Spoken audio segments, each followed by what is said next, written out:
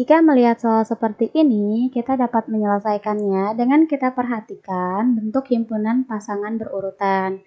Jika di sini yang ditanyakan adalah himpunan X dan Y-nya, kita perhatikan di sini bahwa untuk titik yang awal itu sebagai titik X dan berikutnya itu adalah sebagai titik Y.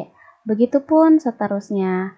Sehingga kita dapatkan untuk himpunan X didapatkan anggotanya adalah 4, 6, 8, 10, dan 12. Lalu selanjutnya untuk Y-nya kita dapatkan anggotanya yaitu 2, 3, 4, 5, dan 6. Jadi, ini adalah himpunan X dan himpunan Y. Sampai jumpa di pertanyaan berikutnya.